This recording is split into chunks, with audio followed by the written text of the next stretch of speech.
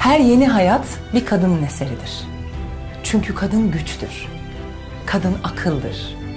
Kadın şefkattir, özveridir, annedir, eştir. Kadın eşittir. Eğer kadın güçlüyse o toplumda güçlüdür. Dünya Kadınlar Günümüz kutlu olsun.